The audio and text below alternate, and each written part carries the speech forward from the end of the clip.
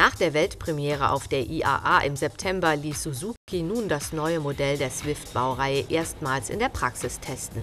Das Topmodell der im letzten Jahr vorgestellten fünften Generation trägt die Bezeichnung Swift Sport und knüpft damit an die erfolgreiche Tradition des Vorgängers an. Der 3,9 Meter lange Mini mit 136 PS ist ausschließlich als Dreitürer mit umfangreicher Ausstattung verfügbar.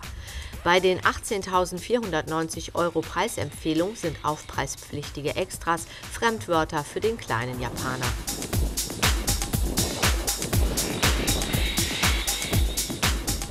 Äußerlich trägt der Swift Sport sein Bekenntnis zur Leistung nur dezent zur Schau. Ein großer Grill, Nebenscheinwerfer und exklusive 17 Zoll Leichtmetallräder sorgen für eine zurückhaltende sportliche Optik.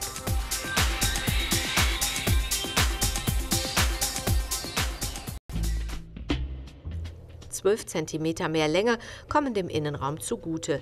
Die breitere Spur und der um 50 auf 2430 mm gewachsene Radstand unterstützen Handling und Komfort, die im neuen Swift Sport einen erwachseneren Eindruck hinterlassen.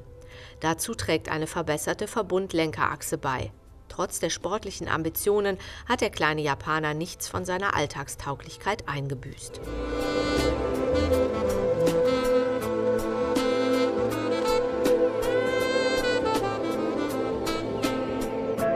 Zur Optik des Sportlers trägt der integrierte Dachspoiler bei, der den Swift Sport tiefer und flacher als die bürgerlichen Brüder wirken lässt.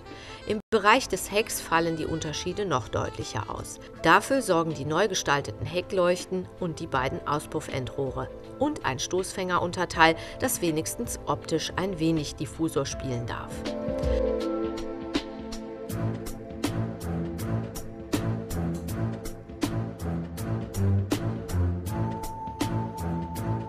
Das Interieur gibt sich vor allem beim verstellbaren dicken Multifunktions-Lederlenkrad und den gut profilierten Sportsitzen angemessen sportlich. Ein dickes Plus sind die serienmäßige Sitzheizung und der Bordcomputer. Ein Schmankerl die Pedale aus Edelstahl. Das Gepäckabteil bietet maximal 512 Liter Stauraum. Der 1,6 Liter leistet 136 PS, 9 mehr als der Vorgänger.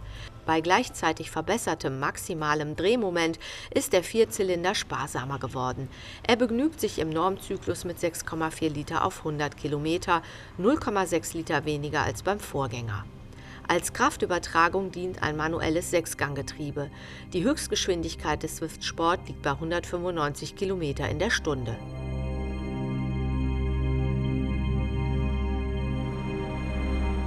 Alltagstauglich, flott, umfassend ausgestattet, ein Preis, ein Wort. Kein Wunder, dass sich sogar VW von den kleinen Suzukis eine Scheibe abschneiden will.